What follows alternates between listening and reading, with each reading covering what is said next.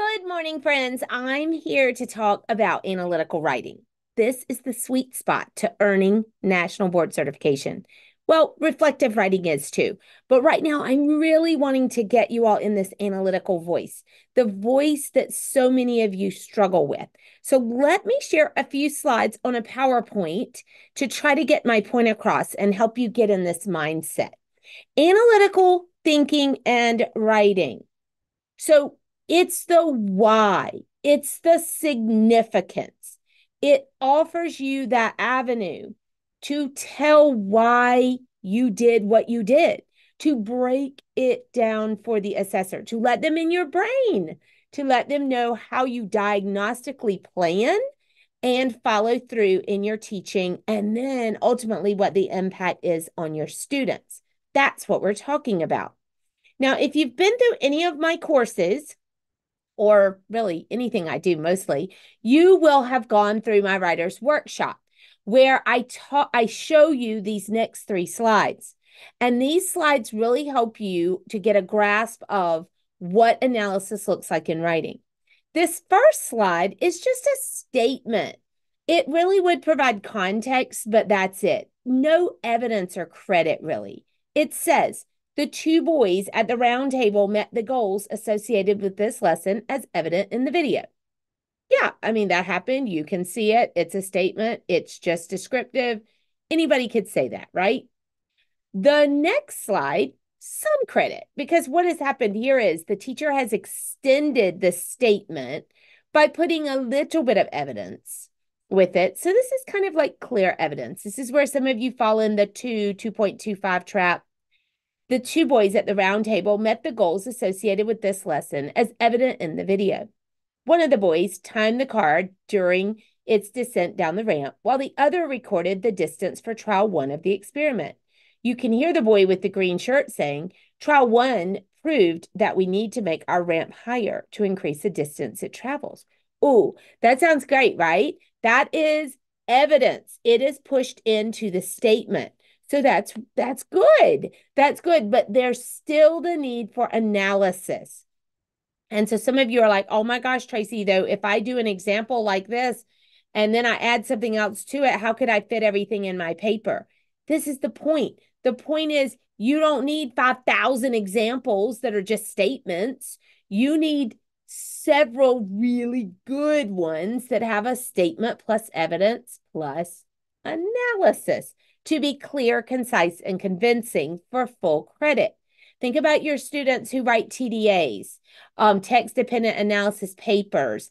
Those students aren't going to pick every single line of what they're reading, right? They're only going to pick a couple, two to three to four things that they're really going to highlight in their text dependent analysis. And you need to get in that same vein of thinking. So now we have that same statement plus the evidence, and now we add analysis. Listen to how it changes. The two boys at the round table met the goals associated with this lesson as evident in the video. One of the boys timed the car during its descent down the ramp, while the other recorded the distance for trial one of the experiment. You can hear the boy with the green shirt saying, Trial one proved that we need to make our ramp higher to increase the distance it travels. This proves to me that the boys are beginning to understand and describe gravitational and frictional force. As they completed trial two, both boys were able to label the type of force on the car as gravitational, while on the ramp and frictional when it's coming to a stop on the floor. Now, do you see how she's analyzing it back to the goals? Now she's basically saying this proves to me her thinking is coming aloud, not just what we can physically see in the video or in the work sample because you you'll use the same thing no matter whether you're working on C2, C3, C4, you're going to be providing the analysis statement. It's just in C3 you're looking at video. That's your evidence that you are analyzing. In C2 and C4 you're analyzing work samples. Or in some of your cases in C2 assessment documents and in C4 assessment documents with the formative data. So um th- this is a great example of all credit. Okay, this is clear, concise, and convincing. One example that the assessor could pluck out of your writing. So let's break down analysis. And honestly, if I can help you understand it in any one word, I think that word is insight. Insight. So the assessor just wants insight into your brain. And there's six ways of doing this, okay? Number 1, prove. You're proving your ability to be a critical observer and critical thinker toward the goals of the lesson. Remember, we oh, we saw right down here she was very critical. Look, this proves she's proving. Oh my gosh, I'm so sorry. I'm I'm going crazy here. Observe. Observe what is seen in the evidence and interpret it. So, really, the word there should probably be more of interpret, but you first have to observe to interpret. So you are interpreting the evidence. You are not just describing. Notice you did not see the word describe in there. You're seeing the word observe, then interpret. Persuade. Persuade the reader, which in this case is the assessor, that you have met the rubric for the portfolio. So you're persuading them that I know these rubric bullet points. I'm giving you examples toward these rubric bullet points. That's insight for the assessor. They're looking for your insight. Unpack. Analysis means to unpack. When you describe, you're summarizing essentially or giving the context needed. But in analysis, you want to take the things apart. You want to take apart what's happening in the videos in C3 or take apart what's happening in the work samples or assessments in C2 and 4. What is going on with the evidence? They want to hear you talking about that in this analytical voice. Re- and then you take those parts that you unpack and you restructure them. So, um, restructure those parts for the reader to understand what you now know because of those parts. Like this tells me, this proves to me, this made me aware. That's what insight sounds like and looks like. Those of you that are inside of my programs, again, you've got those analytical and reflective stems that you can see. And you're like, wow, yeah, okay, if I can just get into that voice, that's what I need. Go beyond predictable. Go beyond predictable. Let the assessor hear you thinking and writing um uh like you're a doctor, like diagnosing things. Be go beyond predictable. Don't just be like, this is what's happening. They can already see what's happening or they can visualize it on a document. You're giving insight. That is what's super important. All right. So, how can you practice this to get yourself in this mindset of analysis? All right. The way I did it when I was going through the national board process many, many years ago, but I still go through renewal. So, I, I keep fresh on this, is I pick an ad and then I have goals for analyzing that ad or commercial. So think about it. I love these. These four are some of the greatest ads. Those of you who teach middle school or high school ELA, you've probably seen and used these to teach kids how to analyze. Um, but these particular commercials are really good at getting you into the analytical mindset. So I would either use these or I would choose a visual advertisement. Like I like this one from Febreze. That one's very cool. Bad odor makes 80 makes it 84% harder to remember our memories. I love that. Or this one. Oh, that's that's Band-Aid. I love that too. I mean, even the Hulk needs a Band-Aid, right? Or this one. We need to build each other up. Poverty Awareness Month. This is just something someone made on Canva just that picture speaks thousands of words, right? So some of you are going to resonate with a commercial that runs for three to, you know, four minutes, whatever. Some of you are going to resonate with just a visual ad. So what you want to do is you want to pick one of those and then you want to try to answer these questions. Go ahead, get your phone, snap a photo. So you have this. Um, you want to try to answer these questions toward goal number one. Do you notice how even in this activity, I've put goals in it because from the assessor standpoint, they're going to want to see that you are teaching and you are unpacking, providing insight toward goals, that you're not just doing something and just unpacking whatever you did. There's a purpose behind it. And the kids are working toward a verb in this goal and content toward this goal that is very important to them at that time. So, very important to you right now when you watch one of these commercials is you need to examine how the commercial tries to get your attention. And the way you're going to do that, examine will be around analysis, that's analytical, is to be able to answer these four questions. So, you're noticing too, there's a lot of hows and whys from these questions. Goal number two is I want you to be able to determine what sort of mood this advertisement seeks to create in you. Okay. So, how is it shaping you? So, again, what are you doing here? You're taking a commercial that you would have just looked at and just been like, oh, that was Hulk with a band aid on. I, I, that just reminds me of, of you know, band aids and that everybody needs a band aid. Well, is that truly very deeply analytical? No. So, how does the commercial or advertisement shape the way you feel about band aids now that you've seen that commercial? Deeply think about that. What is in your mind? What is this commercial doing or ad doing for you? And so, again, what's the point of this activity? The point of this activity is to see how well you can even get into analytical voice and thinking without the national board you know, outside of national board. How can you do that? If you're not really good at it with this activity, you need to practice. Just practice being that way. So then it just becomes reflect like a reflexual, reflexive, reflexive type thing that you're doing. Okay. And then goal number three would be that I would want you to listen if there's a soundtrack. If there's not, you wouldn't have two goals listen to the soundtrack of the commercial and ask how it affects your reaction. Okay, so you could have two goals, you could have three. The important thing is that you are trying to see how deeply you can get into analytical voice.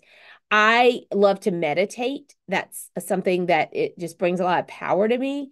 But I remember when I first started trying to meditate, I could not meditate. I was like, how do people do this? I, am I was thinking uh, I need to go spend some time with monks in a monastery so I can just learn to like meditate and pray. Um, but then once I got the hang of it and I practiced it slowly but surely, I got it. So you you just need to say to yourself give myself grace where am i really good where am i not so good am i good at answering how questions why questions not what what can i do better um, ask somebody else to look at the commercial and ask them those same questions, and then you'll start learning from them as well. Um, and kids are great at this, especially teenagers. Their point of view is amazing around things that are analytical, and it's very different than ours, especially for somebody like me that's 50 something. So, um, it, you know, ask others to help you too. So that's an exercise you can do if you want to. You don't have to, but if you want to, do that. The other things I want to tell you is that um, we need to remember this idea of analysis versus identification. So I think that teachers often do like a really good job in their written commentary of identifying facts to analyze, such as the teacher in the beginning of this PowerPoint that gave us facts, right? But they fall short of generating that complete analysis that happened by the third slide. That complete analysis that's going to draw um, a persuasive conclusion of those facts for your reader, and in this case, your assessor.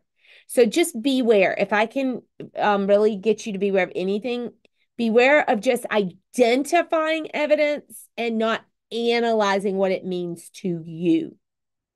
So, number one, I want you to dig into the reasons why your evidence proves your students have met the goals of the lesson and you have met the bullets on the rubric.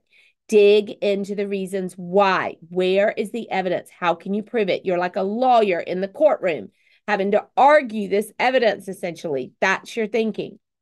You should point out your reasons for reaching a conclusion. And that may feel obvious to you. You may be like, oh my gosh, I mean, they should know this. But they can't just know this. There's no inferencing. The national board score isn't subjective. It's a they are going to find evidence or not find evidence. It is a step that shows how how remember how and why is super important here in the analysis all of your evidence is relating and it reveals what you know and what you believe. So that it's, I cannot even reiterate it enough for you. Beware of just identifying evidence and not analyzing. So, finally, mastery. True masters of analytical thinking and writing must do these things. You must effectively gather information to analyze which you've done. You all have evidence. All of you have your videos. All of you have your your evidence to look at. So that's effectively gathered. Number 2, know how to focus on facts that relate to the goals and separate the facts that do not relate to the goals. Separate those facts, or I should say, or the rubric bullet points, because you're providing evidence and analysis toward the goals and making sure that you're connecting to the rubric bullet points. And when, uh, let me give you an example of that. Um, something that wouldn't be goals, but would be rubric would be provides a safe, fair, equitable learning environment, right? That's not going to go with your goals in a content lesson, but that goes to the rubric and you need to provide evidence and analyze how and why that that is um, important toward that particular rubric bullet point. Okay. And you don't need to number the bullet point and write out the whole bullet point and all that. You don't need to do all that. This is just a really natural flow of you talking about answering the question on safe, fair, equitable environment, where you get into the analysis part of this. You think about how you answered those questions for the commercials and you got very deeply into the commercials. You could with safe fair and equitable environment say you know all of my kids had flexible seating and they were able to choose where they worked. So that was choice and they feel comfortable talking to each other do you see how that's just identifying facts versus the deepness of why how is that flexible seating creating safety how why is choice really creating this wonderful classroom community environment. That's what I'm saying about analysis. Number three, examine information and use logical thinking to form valid conclusions toward the goals of the lesson. One more time, I'm going to tell you teachers often just write the facts, they don't examine. Examining these ads is going to let you see how doctors examine deeply beyond your sore throat. They don't just say she has a sore throat, she gets augmentin. Uh-uh. They examine beyond that, and you're examining your evidence beyond that. Identify patterns and use trends to form predictions. Oftentimes, candidates will say, I don't even understand what that means. you need to understand what that means. So, patterns and trends are super important for understanding data and understanding what's going on and then take ideas in the evidence part, Eh, take ideas in the evidence apart. Remember, unpack. And then we're going to link them. Remember, the word is restructure to the demands of the rubric. So you're going to unpack what's going on in your evidence and you're going to restructure it to give the assessor, let me come back at you, insight. They want insight. That's what they want. They want that. I hope this helped you. Um, you guys are doing great. Keep growing big. And remember, keep saying to yourself, I am an NBCT. You are. You are an NBCT. I'm praying for you.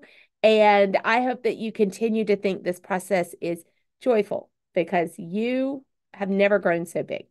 Bye now.